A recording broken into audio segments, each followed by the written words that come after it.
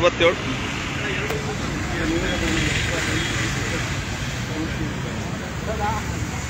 Google ಪೇನೇ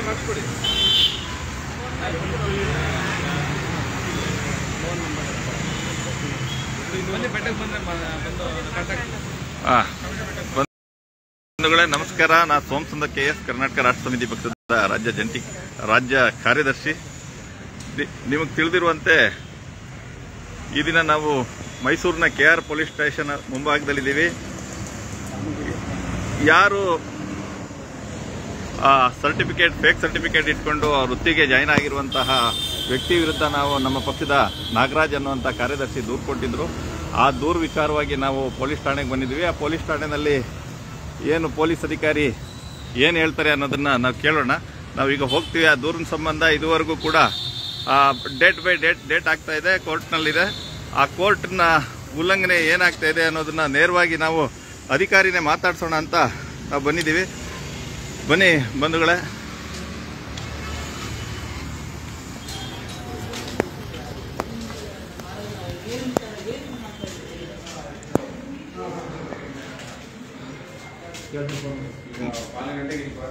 Mahesh sir, ನಮಸ್ಕಾರ. ಎರಡು ನಿಮಿಷ.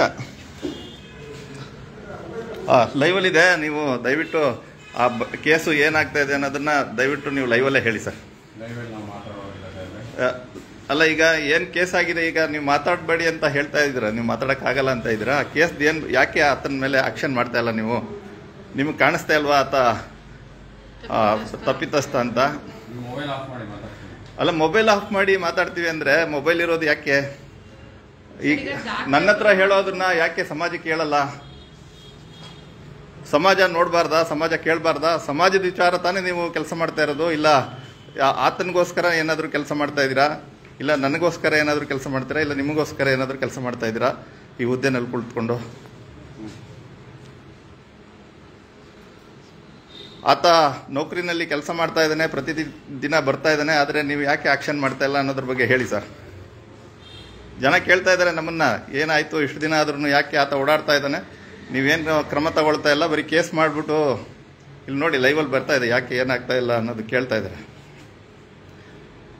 ನೀವು ಉತ್ತರದಾಯಿಗಳಲ್ವಾ. ಅಲ್ಲ ಮೀಡಿಯಾ ಅಲ್ಲ ಸರ್ ಇದು ಇದು ನಾವು? ಹೌದು ಸರ್ ಈಗ ಮೀಡಿಯಾ ಅಲ್ಲ ಇದು ಇದು ಆಕ್ಚುಲಿ ನಾನ್ ಇದು ನಮ್ಮ ಪಕ್ಷದ್ದು ಪೇಜ್ ಇದು ನಾವು ದೂರ್ ಕೊಟ್ಟಿರೋರು ನಮ್ಮ ಪಕ್ಷದಿಂದ ದೂರು ಕೊಟ್ಟಿದೀವಿ ನಾವು ಏನ್ ಕ್ರಮ ಆಗ್ತಾ ಇದೆ ಅನ್ನೋದನ್ನ ನೀವು ಹೇಳ್ಬೇಕಲ್ವಾ ಸರ್ ಇನ್ವೆಸ್ಟಿಗೇಷನ್ ನನ್ನ ಇವತ್ತು ಏನಾಗಿದೆ ಅನ್ನೋದನ್ನ ನೀವು ಹೇಳಲಿಲ್ಲ ಅಂದ್ರೆ ನಾವು ಹೇಗೆ ಇದು ಮಾಡೋದು ಸರ್? ನೀವು ನಮ್ಮ ಹತ್ರ ಹೇಳ್ತಾ ಇರೋದನ್ನ ನೇರವಾಗಿ ನೀವೇ ಹೇಳಿದ್ರೆ ಅದು ದಾಖಲಾಗುತ್ತಲ್ವಾ? ನೀವು ನೀವ್ ಹೇಳ್ತಾ ಇದ್ರಿ ಅವಾಗಲೇ. ಚೇಂಜ್ ಮಾಡೋದ ಅಂತ ಈಗ ನೀವು ನೀವು ಮಾಡಲಿಲ್ಲ ಅಂದ್ರೆ ಬೇರೆ ಏನಾದರೂ ವ್ಯವಸ್ಥೆ ಮಾಡಬೇಕಾಗುತ್ತಲ್ವಾ? ನೀವು ರೈಟಿಂಗ್ ಅಲ್ಲಿ ಕೊಡ್ತೀರಾ ಸರ್? ನೀವು ಹೇಳಿದ್ದನ್ನ ರೈಟಿಂಗಲ್ಲಿ ಅಲ್ಲಿ ಕೊಡ್ತೀರಾ ಸರ್ ತಾವು? ನನ್ನ ಕೈಲಿ ಆ ವ್ಯಕ್ತಿನ ಏನೋ ಮಾಡೋಕ್ಕಾಗಲ್ಲ ಮಾಡಕ್ಕಾಗಲ್ಲ ಐವತ್ತು ಚೇಂಜ್ ಮಾಡ್ಕೊಳ್ಳಿ ಅಂತ ಹೇಳೋದಕ್ಕೆ ನಾವು ಮಾಡ್ಕೊಂತೀವಿ. ಏನೇ- ಬಾರೇಳಿ ಪುಟ. ಬೆಳಿಗ್ಗೆ ತತ್ತಿದಲ್ಲ ಅದಕ್ಕೆ ಒಂದು ಆರ್ಡರ್ ಒಂದು ಹೋಲ್ಸೋಣ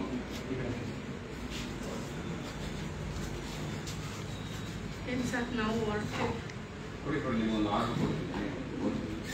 ಓ ನಮ್ಗೆ ಆರ್ಡರ್ ಕೊಡ್ತಾ ಇದ್ದೀರಾ? ಯಾಕೆಂದ್ರೆ ಅದು ಅಲ್ಲ ಮೀಡಿಯಾ ನೀವು ಮೀಡಿಯಾ ಜೊತೆ ಮಾತಾಡ್ಬೇಡಿ ಅಂತ ಇದೆಯಾ? ಅವರು ಇದಾಕಿದಾರ ಸರ್?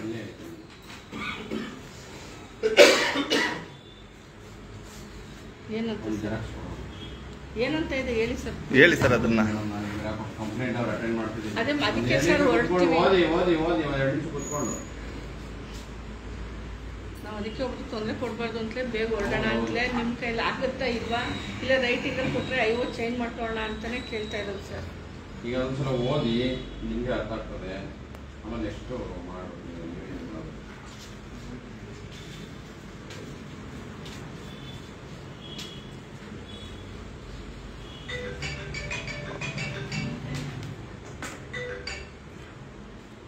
ಸರ್ ನಮಸ್ತೆ ಸರ್ ಮೈಕ್ ಪ್ಲೀಸ್ ಹೌದು ಸರ್ ಹಾಂ ಇದ್ದೀನಿ ಇದ್ದೀನಿ ಸರಿ.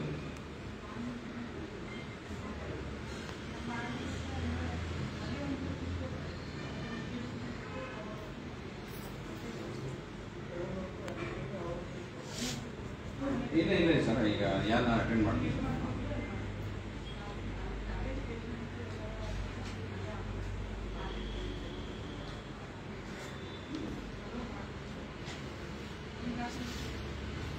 ಸರಿ ಸರ್ ಸರಿ ಅಟೆಂಡ್ ಮಾಡ್ತೀನಿ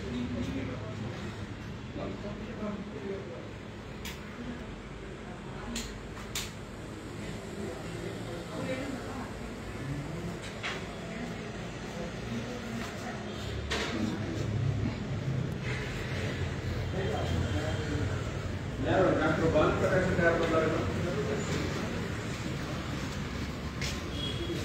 ಬಾಲಪ್ರಕಾಶ್ ಅಂತ ಯಾರು ಬರ್ತಾರೆ? ನೀವೇ, ಬನ್ನಿ ಸರ್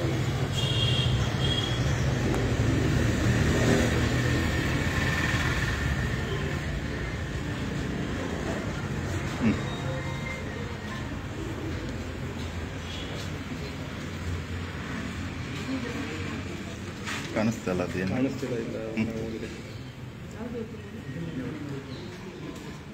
ಚೆನ್ನಾಗಿ ಕಾಣಿಸ್ತಾ ಇಲ್ಲ ಕೇಳಿ.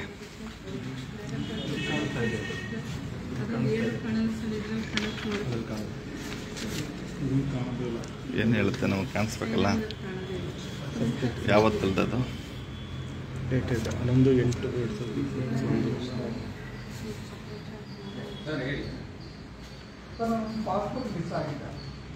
ದೇಶದಲ್ಲಿ ಕೆಲಸ ಮಾಡಬೇಕಾದ್ರೆ ಕಾಂಟ್ಯಾಕ್ಟ್ ಮಾಡಬೇಕು ಸೊ ಅದಕ್ಕೆ ರಿಪೋರ್ಟ್ ಮಾಡಬೇಕು ಅಂತ ಇದ್ದಾರಲ್ಲ ಅವ್ರು ಹೇಳಿದ್ರು ಅವ್ರಿಗೊಂದು ಕೊಡಿ ಕಾಫಿ ನಿಮ್ಮ ಇವ್ರಿಗೆ ಅಡ್ವೊಕೇಟ್ಗೆ ಮಾತಾಡಿಸಿ. ಇದನ್ನು ನಾವು ಅವ್ರಿಗೆ ಕೊಡಿ ಅದು.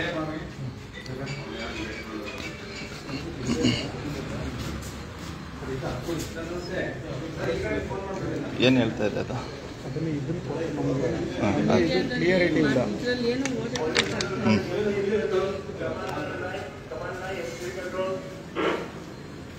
ಕ್ಲಿಯರಿಟಿ ಇಲ್ಲ ಓದಕ್ಕೆ.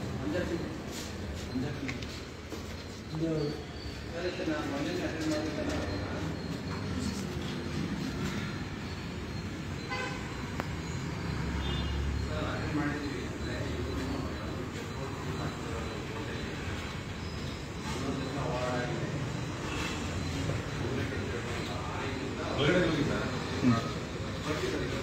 ಇರಲಿ ಅವ್ರು ಬೇರೆ ಮಾತಾಡಲಿ ಅವರು. ನಮ್ಮ ವಿಚಾರ ಬಂದಾಗ ನಾವು ಮಾತಾಡೋಣ.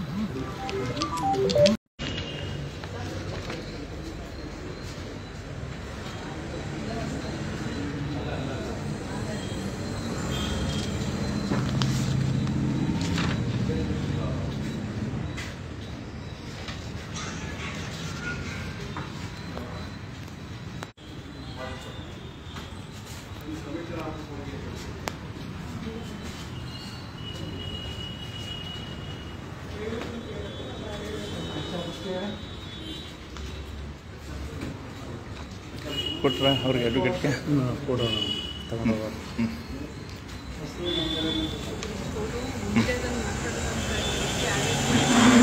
ಹ್ಞೂ ಅಂತ. ಹೇಳಿ ಸರ್ ಅಲ್ಲಿ ಮಾತಾಡಿ ಹೇಳಿ ಅದು. ಯಾರು?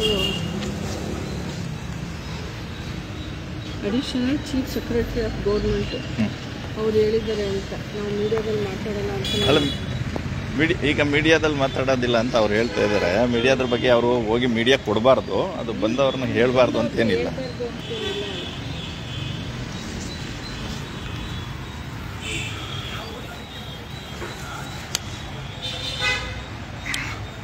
ಬಂಧುಗಳೇ, ನಾವು ಅದೇ, ಈಗ ಒಂದು ಲೆಟರ್ ಕೊಟ್ಟಿದ್ದಾರೆ. ನಾವು ಮೀಡಿಯಾಗೆ ಹೇಳಬಾರ್ದು ಅಂತ ಏನು ನಡೀತಾ ಇದೆ ತನಿಖೆ ಅಂತ. ಆದರೆ, ತನಿಖೆ ವಿಚಾರ ನಾವು ಹಾಂ. ಹೌದು.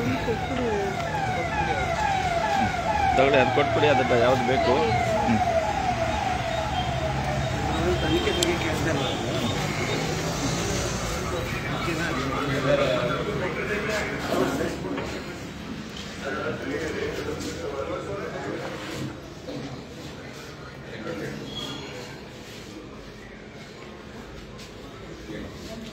ಸರ್ ನಮಗೆ ಅದರಲ್ಲಿ ಇದೆ. ತನಿಖೆ ಬಗ್ಗೆ ಮಾಹಿತಿ ಹೇಳಬೇಡಿ. ನಮಗೆ ತನಿಖೆ ಮಾಹಿತಿ ಏನು ಬೇಡ.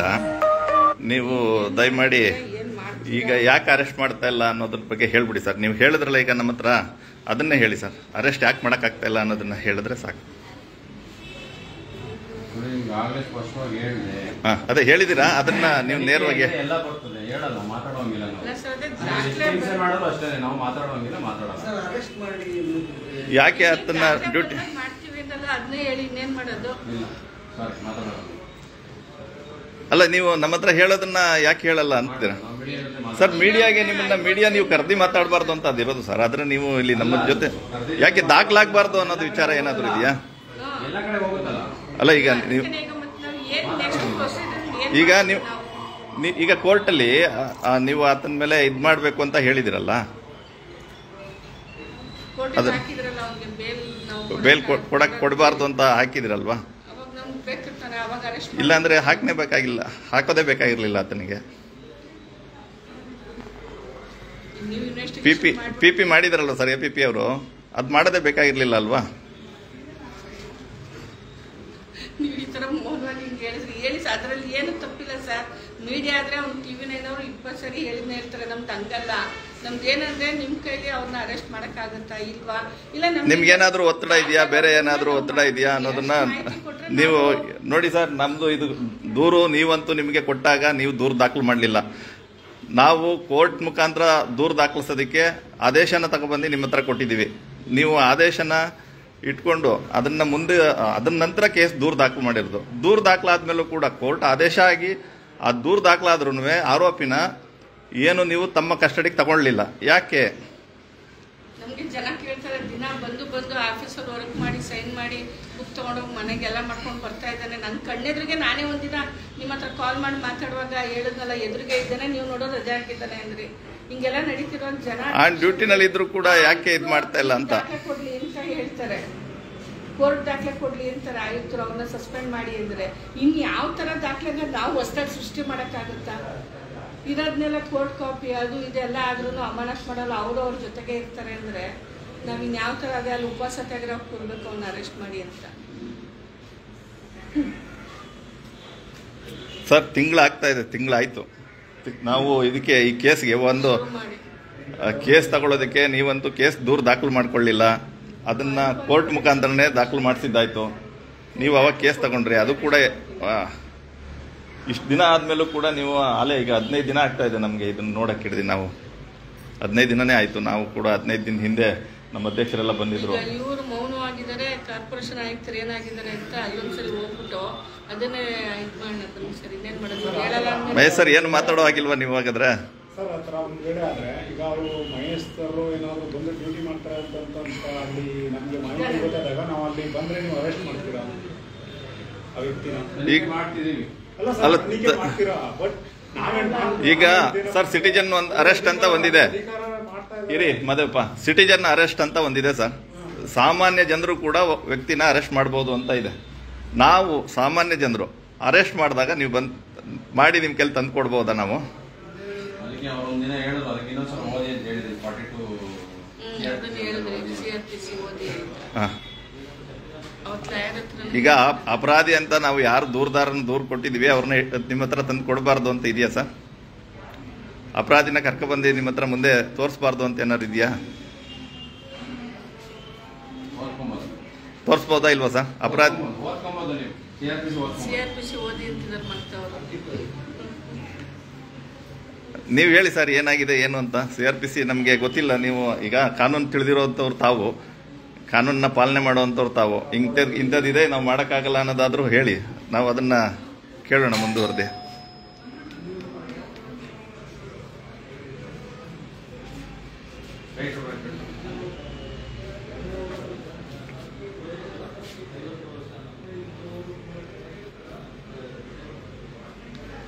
ಜನ ನೋಡ್ತಾ ಇದ್ದಾರೆ ಸರ್. ನಿಮ್ಮನ್ನ ನಾವು ಕಾಯ್ತಾ ಇದ್ದೀವಿ. ನಮ್ಮದು ಸಮಯ ಹಾಳು ನಿಮ್ಮದು ಸಮಯ ಹಾಳು. ಪ್ರಶ್ನೆ ಉತ್ತರ ಒಂದೇ ಅರೆಸ್ಟ್ ಮಾಡಲ್ಲ ಅವ್ರನ್ನ ಅಂತನ ಸರ್? ಎಲ್ಲ ನಿಮ್ಮ ಹತ್ರ ಅವ್ರನ್ನ ಅರೆಸ್ಟ್ ಮಾಡಲ್ಲ ಅಂತನ? ನಗ್ತಾ ಇದ್ದಾರೆ? ಈಗ ನೀವು ಅವ್ರನ್ನ ಅರೆಸ್ಟ್ ಮಾಡಲ್ಲ ಅವರು ಪ್ರಭಾವಿಗಳಿದ್ದಾರೆ ಅಂತ ಏನಾದ್ರು ಏನಾದ್ರು ಇದೆಯಾ? ನಿಮ್ ಅಷ್ಟೇ ಸರಿ ಬೇರೆ ನಿಮ್ಮ ಮೇಲೆ ಏನಾದ್ರು ಪ್ರಭಾವ ಬೀರ್ತಾ ಇದಾರ ಸರ್.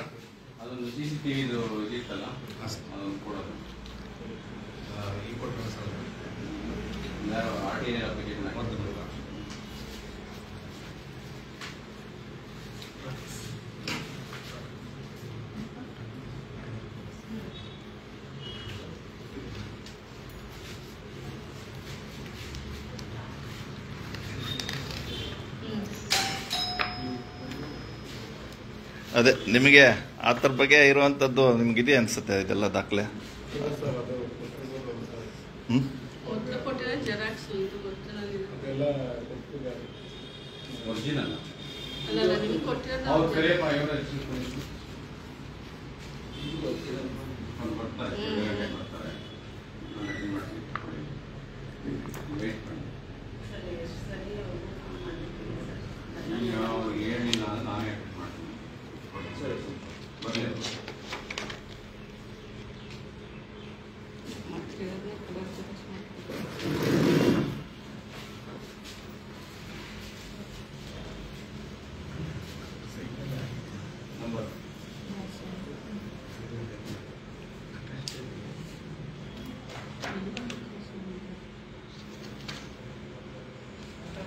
सर बकेट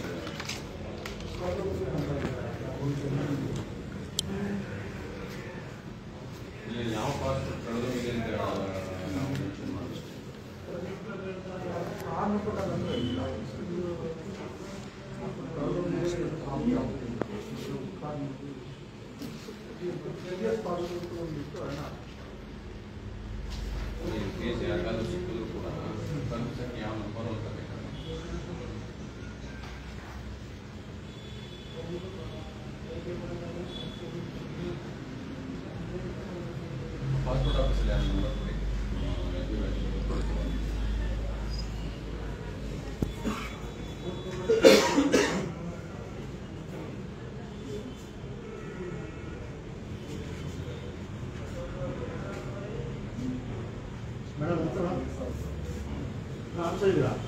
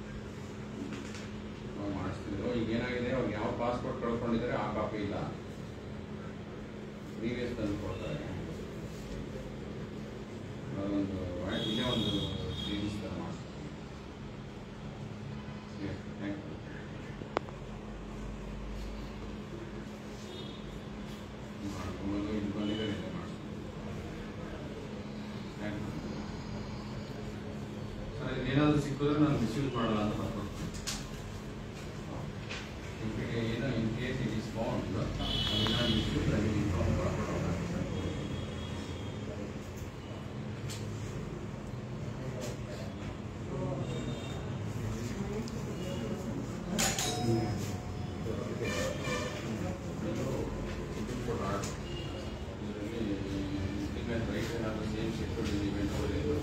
ಅಡ್ವೊಕೇಟ್ಗೆ ಕಾಲ್ ಮಾಡಿ. ಬನ್ನಿ ಅಂತ.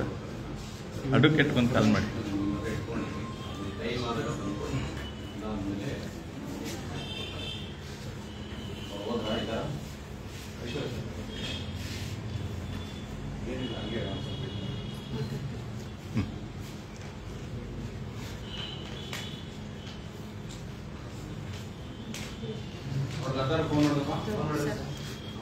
ಸರ್ ನಮಸ್ಕಾರ. ಅದು ಒಂದೆರಡು ನಿಮಿಷ ಬನ್ನಿ ಸರ್ ತಾವು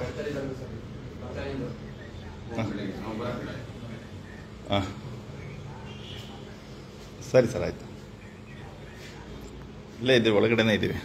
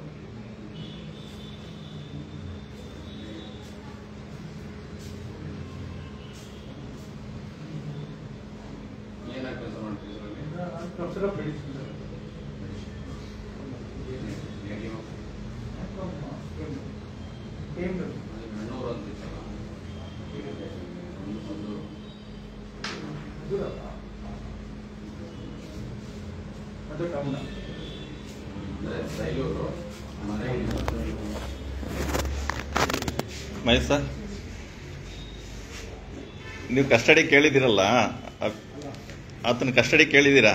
ಆದರೆ ಯಾಕೆ ಇಲ್ಲಿ ಅರೆಸ್ಟ್ ಮಾಡ್ತಾ ಇಲ್ಲ ಅಂತ ಅಷ್ಟೇ ನಾನು ಕೇಳ್ತಾ ಇರೋದು. ನೀವು ಬೇಲ್ ಅಪ್ಲಿಕೇಶನ್ಗೆ ಅಬ್ಜೆಕ್ಷನ್ ಹಾಕಿದಾಗ ಅದನ್ನು ಕಸ್ಟಡಿಗೆ ಬೇಕು ಅಂತ ಕೇಳಿದ್ದೀರಾ? ಅಲ್ಲೊಂದು ಇಲ್ಲೊಂದು ಆಗ್ತಾ ಇದೆ ಅಲ್ವಾ?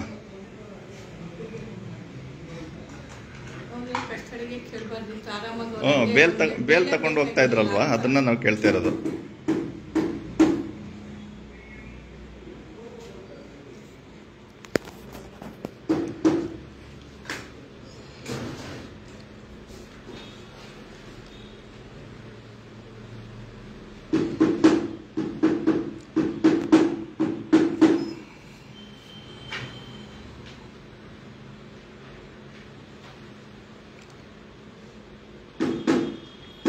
ಒಂದಂತ ಕಡೆ ಇದ್ದಾನೆ ಬನ್ನಿ ಅರೆಸ್ಟ್ ಮಾಡಿ ಅಂದ್ರೂ ಮಾಡಲ್ಲ ಅಂತೀರಾ ಇಟ್ಕೊಡ್ತೀವಿ ಅಂದ್ರೆ ಓದಿ ಅಂತೀರಾ ನೀವು ಇಟ್ಕೊಂಡು ಬರಲ್ಲ ಹಾಂ ನಾವು ಅವ್ನು ಕೆಲಸ ಮಾಡ್ತಾ ಇದ್ದಾನೆ ಬಂದು ಬನ್ನಿ ಇಟ್ಕೊಂಡು ಹೋಗಿ ಅಂದರೆ ಅದಕ್ಕೂ ಬರಲ್ಲ ಇಲ್ಲ ನೀವು ಹಿಡೀರಿ ಅಂದರೆ ಅವ್ನು ಕೆಲ್ಸಕ್ಕೆ ರಜಾ ಹಾಕಿದ್ದಾನೆ ಅಂತೀರಾ ಹೆಂಗೆ ಅವ್ರು ಕಳ್ಳರು ಊರು ತುಂಬ ಮೆರೀತಾ ಇದ್ದಾರೆ ನಮಗೆ ಜನ ಪ್ರಶ್ನೆ ಮಾಡ್ತಾರೆ ಏನು ನಿಮಗೆಲ್ಲ ಏನು ಮಾಡೋಕ್ಕಾಗಲ್ಲ ಅಂತ ಅವನ್ನೆಲ್ಲರಿಗೂ ಬುಕ್ ಮಾಡ್ಕೊಂಡಿದ್ದೀನಿ ಅಂತ ನಮ್ಮೊಂದಿಗೆ ಹೇಳ್ತಾರೆ ಜನಗಳು ನಮಗೆ ಜನಕ್ಕೆ ಪ್ರಶ್ನೆಗೆ ಉತ್ತರ ಕೊಡೋಕ್ಕಾಗ್ತಾ ಇಲ್ಲ ಆ ಪರಿಸ್ಥಿತಿಲಿದ್ದೀವಿ ಇಲ್ಲ ಪೊಲೀಸು ಪರಿಸ್ಥಿತಿ ಹೆಂಗಿದೆ? ಅವರು ಇನ್ವಾಲ್ವ್ ಆಗಿದ್ದಾರಾ ಅಂತ ಕೇಳ್ತಾರೆ ನಮಗೆ. ಇಲ್ಲ ಇಲ್ಲ ಅವ್ರು ಸ್ಟ್ರಿಕ್ಟ್ ಆಫೀಸರ್ ಇದ್ದಾರೆ ಅಂತೀವಿ. ನೀವು ನೋಡಿದ್ರೆ ಇಲ್ಲ ಬರೆದು ಕೊಡಲ್ಲ ಇಲ್ಲ ಅವ್ನು ಹಿಡಿದು ಅಟ್ಲೀಸ್ಟ್ ಒಂದಿನ ಅವ್ನ ಅರೆಸ್ಟ್ ಮಾಡಿ. ಹಿಂಗೆ ಒಪ್ಸಿದ್ದೀವಿ ಹಿಂಗೆ ದಾಖಲೆ ಬರಬೇಕು ಅಂತ ನಾವು ಇಷ್ಟು ದಿನ ನೋಡ್ತಿದ್ವಿ. ಈಗಲೇ ಹೊಸ್ದಾಗಿ ದಾಖಲೆ ಬಂದಮೇಲೆ ಅವ್ನ ಅರೆಸ್ಟ್ ಮಾಡೋದು ಅಂತ ಇವನ್ ವಿಚಾರದಲ್ಲಿ ಬೇರೆ ಯಾವುದೇ ವಿಚಾರದಲ್ಲಿ ನಾವು ಯಾವುದೂ ಇದ್ರ ಬಗ್ಗೆ ತಿಳ್ಕೊಂಡಿರಲಿಲ್ಲ. ಹೇಳಿ ಸರ್ ಏನಾದ್ರು ಹೇಳಿದ್ರೆ ನಾವು ಸಮಯನ ವ್ಯರ್ಥ ಮಾಡೋಕ್ಕಿಷ್ಟ ಇಲ್ಲ. ಏನೋ ಒಂದು ಹೇಳಿದ್ರೆ ನಾವು ಸ- ಸರ್. ಜನ ನೋಡ್ತಾ ಇದ್ದಾರೆ ನೀವೊಂದು ಮಾತು ಹೇಳಿದ್ರೆ ನಾವು ಹೋಗ್ಬೇಕು ಸರ್ ನಮ್ಮದು ಕೆಲಸಗಳಿದೆ ದಯವಿಟ್ಟು ಹೇಳಿ ಮೈ ಸರ್ ಇಲ್ಲ ನೀವು ಏನು ಕ್ರಮ ತಗೊಳ್ತೀರಾ? ಅಲ್ಲಿ ಅಬ್ಜೆಕ್ಷನ್ ಕೂಡ ಹಾಕಿರೋದು ಅವನನ್ನ ಕಸ್ಟಡಿಗೆ ಬೇಕು ಅಂತ ಹೇಳಿದ್ದೀರಾ? ಅಲ್ಲಿ. ಕಸ್ಟಡಿಗೆ ಬೇಕು ಅಂತ ಕೇಳಿ ಈ ಕಡೆ ನಾವು ಸುಮ್ಮನೆ ಇರೋದು ಯಾವ ರೀತಿ ನ್ಯಾಯ ಅಂತ ನಾವು ಕೇಳ್ತಾ ಇರೋದಷ್ಟೇ ಇಲ್ಲ ಸುಮ್ಮನೆ ಆಗ್ಬಿಟ್ರೆ ಅಲ್ಲಿ ಕಷ್ಟ ಅವರು ಬೇಲ್ ತಗೋಬೋದಲ್ಲ ಅವ್ರ ಪರ್ಮಿಷನ್ ಆಗ್ಬಿಡುತ್ತೆ. ನೀವು ವಾಪಸ್ ತಗೋಬಿಡಿ ನಮಗೆ ಕಸ್ಟಡಿಗೆ ಬೇಡ ಅನ್ನೋದಾದ್ರು. ಯಾವ್ದಾದ್ರು ಒಂದು ಆಗ್ಬೇಕಲ್ಲ? ವಿಚಾರಣೆಗೆ ಬೇಕು ಅಂತ ಕೇಳಿದ್ದೀರಾ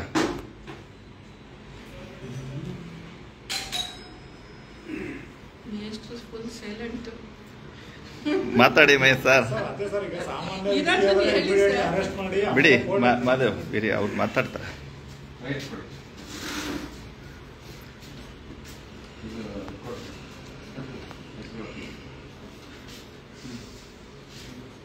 ಸಮಾಜ ನೋಡ್ತಾ ಇದೆ ಸರ್, ನಿಮ್ಮ ಮೌನನ. ನೀವು ಹಿಂಗೆ ಮೌನ ಆಗ್ಬಿಟ್ರೆ ಸಮಾಜಕ್ಕೆ ಹೇಳದೆ ಹೋದ್ರೆ ಹೇಗಾಗುತ್ತೆ?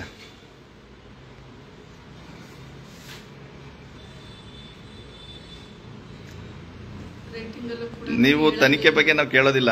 ತನಿಖೆ ನೀವು ಹೇಗೆ ಬೇಕೋ ಅದನ್ನ ಮಾಡಿ. ಆ ತನಿಖೆ ಅದನ್ನ ನಮಗೆ ವಿಚಾರ ಹೇಳಬೇಡಿ. ಆತನಿಗೆ ನೀವು ಹಾಕಿರುವಂತ ಬೇಲ್ ಅಪ್ಲಿಕೇಶನ್ ಅಲ್ಲಿ ಆತ ನಮ್ಮ ಕಸ್ಟಡಿಗೆ ಬೇಕು ಅಂತ ಕೇಳಿದ್ದೀರಾ ಆದರೆ ಇಲ್ಲಿ ಕಸ್ಟಡಿಗೆ ಈತ ಓಡಾಡ್ತಾ ಇದ್ದಾನೆ ಮೈಸೂರು ಒಳಗಡೆ ನಾವು ಇಟ್ಕೊಡ್ತೀವಿ ಅಂತ ಅಂದರೂ ಕೂಡ ನೀವು ಅದನ್ನ ಒಪ್ಕೊಳ್ತಾ ಇಲ್ಲ. ಏನ್ ಕಾರಣ ಸರ್?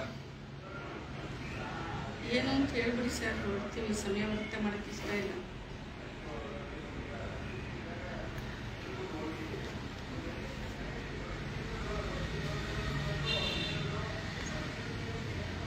ಸರ್? ಏನಾದ್ರು ಒಂದು ಹೇಳಿ ಸರ್ ಹೊರಡ್ತೀವಿ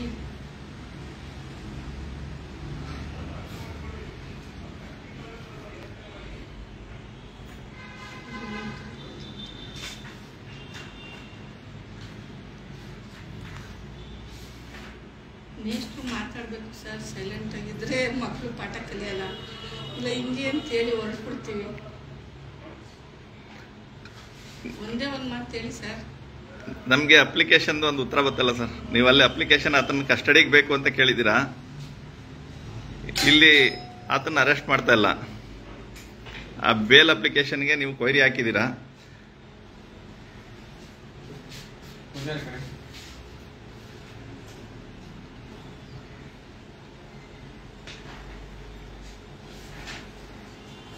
ಒಂದು ಸಂಘ ಸಂಸ್ಥೆ, ಒಂದು ಪಕ್ಷ, ಒಂದು ನೇರವಾಗಿ ನಿಂತು ಆರೋಪ ಮಾಡ್ತಾ ಇದ್ದಾಗಲೇ ಈ ಥರ ಆದರೆ ಸಾಮಾನ್ಯ ಜನರ ಪಾಡಿಯನ್ನು ಸರ್? ಸಾಮಾನ್ಯ ಜನರು ಹೇಗೆ ನ್ಯಾಯ ಕೇಳ್ತಾರೆ? ಅವ್ರು ನಿಜವಾಗ್ಲೂ ನ್ಯಾಯ ಸಿಗುತ್ತಾ?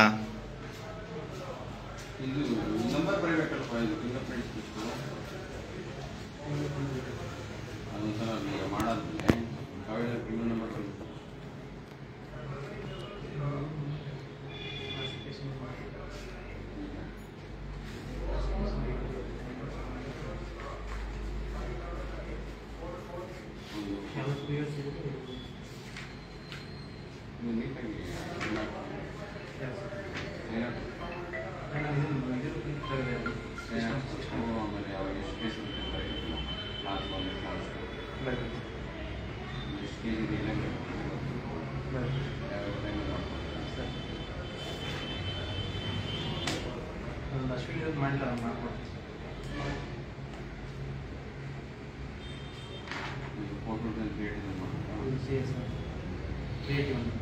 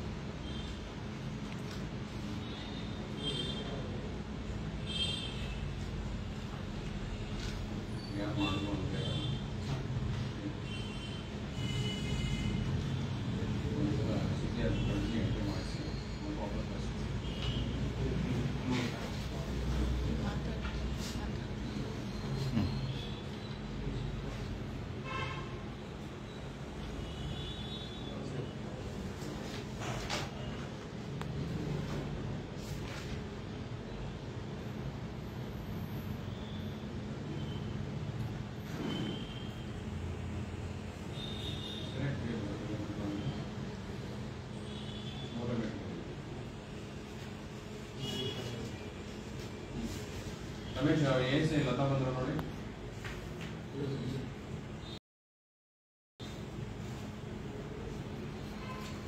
ಒಂದು P S R P S R ಅಂತ ಹೇಳಿದ್ರೆ ನಾಳೆ ಐಡೆಂಟಿಫಿಕೇಶನ್ಗೆ ಹಂಗೆ ಈಸಿ ಆಗ್ತದೆ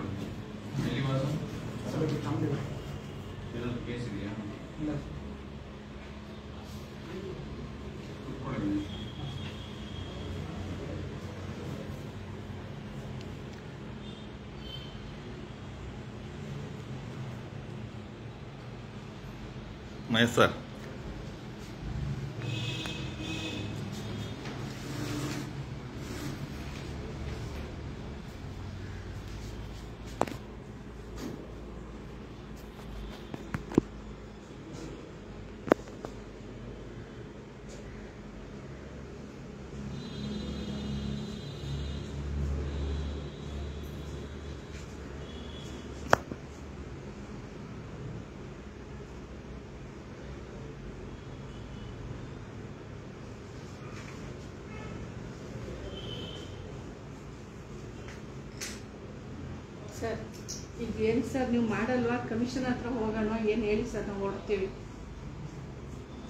ಅದಾದ್ರು ಹೇಳಿ ನಮ್ಮ ಕಮಿಷನ್ ಹತ್ರನೇ ಹೋಗಿ ಅಂತನಾದ್ರು ಇಲ್ಲಿ ಹೇಳಿ, ಮಾಡೋದಕ್ಕಾಗಲ್ವಾ? ಇಲ್ಲ ಏನು ಮಾಡ್ತೀನಿ? ಇಲ್ಲ ಏನು ಮಾಡಲ್ಲ ಅಂತೇಳಿ ಸರ್, ದಯವಿಟ್ಟು ಹೊರಡ್ತೀವಿ.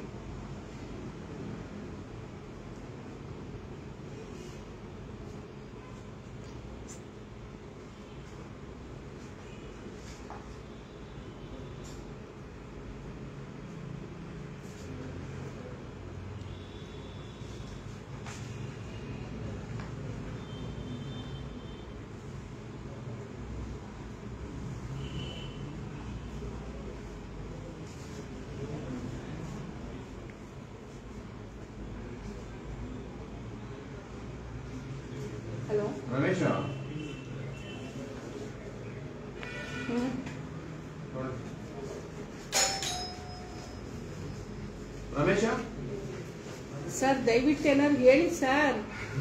ಕ- ಪೊಲೀಸ್ ಆಯ್ತು ಅಂತ ಹೋಗೋಣ ಹೇಳಿ ಸರ್. ನಮ್ಮ ಕೈಲಿ ಆಗಲ್ಲ ನೀವು ಹೋಗಿ ಅಂತ ಹೇಳಿ ಸರ್ ಹೊರಡ್ತೀವಿ. ನಾವು ಸಮಯ ವ್ಯರ್ಥ ಮಾಡಕ್ಕೆ ಇಷ್ಟ ಇಲ್ಲ. ಅಷ್ಟೊತ್ತಿನ ಕೇಳ್ತಾ ಇದ್ದೀನಿ ನೀವು ಇದೇ ಮಾಡ್ತಾ ಇಲ್ಲ. ಅದೇ ನೀವು ಹೇಳಿದ್ದನ್ನ ಇಲ್ಲಿ ಹೇಳಿ ಸರ್. ಈಗ ಇಲ್ಲಾಂದ್ರೆ ರೈಟಿಂಗ್ ಎಲ್ಲಾದ್ರೂ ಕೊಡಿ ಇಲ್ಲಾಂದ್ರೆ ಇದ್ರಲ್ಲಾದ್ರೂ ಹೇಳ್ಬಿಡಿ ಸರ್ ದಯವಿಟ್ಟು. ದಾಖಲಾಗುವಂತದ್ದ ಈಗ ನೀವು ರೈಟಿಂಗ್ ಅಲ್ಲಿ ಕೊಡಿ ನಾವು ಹಿಂಗ್ ಮಾಡಕ್ ಆಗಲ್ಲ ಅಂತ ಅದನ್ನಾದ್ರೂ ತಗೊಂಡೋಗ್ತೀವಿ. ನಮ್ಗೆ ಎಲ್ಲಾ ದಾಖಲೆಗಳು ಬರೋವರೆಗೂ ನಾನು ಏನು ಮಾಡೋದಿಲ್ಲ ಅಂತ ಹೇಳಿ ಸರ್. ಸರ್ ಮಾಡಿ ಸರ್ ಇವ್ರು ಏನೂ ಮಾಡೋದು ಇಲ್ಲ ದಾಖಲೆನೂ ಕೊಡಲ್ಲ ಅಂತಾರೆ ಅಂದ್ಬಿಟ್ಟು ಇದು ಮಾಡೋಣ ಬನ್ನಿ ಅಷ್ಟೇ. ಅಲ್ಲಿ ಕಮಿಷನ್ ಹತ್ರನೇ ಹೋಗೋಣ ಇನ್ನೇನು ಮಾಡೋದು? ಅವ್ರು ಯಾವುದಕ್ಕೂ ಎಲ್ಲದಕ್ಕೂ ಒಂದೇ ಉತ್ತರ ಅವರು. ನಾನೇನು ಹೇಳಲ್ಲ ಹೇಳಲ್ಲ. ಕೆಲಸ ಮಾಡ್ತಾ ಇದ್ವಿ ಅಷ್ಟೇ ಹೇಳೋದು ಅವ್ರು. ಅಲ್ಲ ಕೆಲಸ ಮಾಡಲಿ ಅವ್ರು ಅಬ್ಜೆಕ್ಷನ್ ಹಾಕಿದ್ದಾರೆ ಕೋರ್ಟಲ್ಲಿ ಅದನ್ನ ಕಸ್ಟಡಿಗೆ ಬೇಕು ಅಂತ. ನಾವು ಕಸ್ಟಡಿಗೆ ಆತನ ಹಿಡ್ಕೊಡ್ತೀವಿ ಅಂತ ಹೇಳ್ತಾ ಇದೀವಿ. ಆತನ ಹಿಡ್ಕೊಟ್ರು ಕೂಡ ಅವ್ರು ಏನು ಹೇಳ್ತಾರಂತೆ? ಸರ್ ನಮ್ಮ ವಿಚಾರಕ್ಕೆ ಹೇಳ್ತಾ ಇದ್ರೆ ಅಲ್ಲ ಬೇರೆ ವಿಚಾರ ಕೇಳ್ತಾ ಇದ್ರೆ ಸರ್? ನಮ್ಮ ವಿಚಾರಕ್ಕೆ ಏನು ಹೇಳಲ್ಲ ಸರ್? ನಾವು ಹಾಗಾದ್ರೆ ಹೊರಡ್ಲಾ ಸರ್ ಹಾಗಾದ್ರೆ. ಧನ್ಯವಾದ ಸರ್ ತಮಗೆ.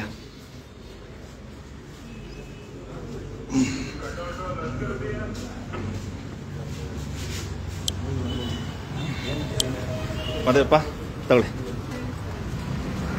ಕ್ಯಾಮ್ರಾ ಮುಚ್ಚಿಬಿಡಿ. ಬಂಧುಗಳೇ ನಮಸ್ಕಾರ ನಾವು ಇದುವರೆಗೂ ಮೈಸೂರಿನ ಕೆ ಆರ್ ಪೊಲೀಸ್ ಸ್ಟೇಷನ್ನಲ್ಲಿ ನಿಮಗೆ ಗೊತ್ತಿರ್ಬೋದು. ಫೋರ್ಜರಿ ಕೇಸ್ ಫೋರ್ಜರಿ ಸರ್ಟಿಫಿಕೇಟ್ಗಳನ್ನ ಇಟ್ಕೊಂಡು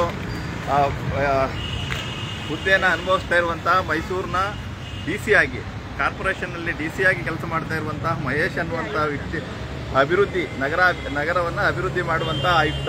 ಆತನ ಆತನ ಮೇಲೆ ನಾವು ಕಳೆದ ತಿಂಗಳು ದೂರು ನೀಡಿದ್ವಿ ಪೊಲೀಸ್ ಪೊಲೀಸ್ ಠಾಣೆಗೆ. ಆದರೆ ಇದೇ ಪೊಲೀಸ್ನವರು ಹಾಗೆ ಇಟ್ಕೊಳ್ಳಿ. ಇದೇ ಪೊಲೀಸ್ನವರು ಆ ದೂರನ್ನ ಅಕ್ಸೆಪ್ಟ್ ಮಾಡಲಿಲ್ಲ.